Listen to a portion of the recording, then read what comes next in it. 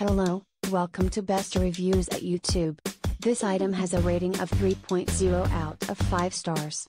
A customer wrote, the title says it all. It's more attractive and has a better handle than most of its kind, and a closed-in bottle cap opener is easier to use and works better than the usual hook style.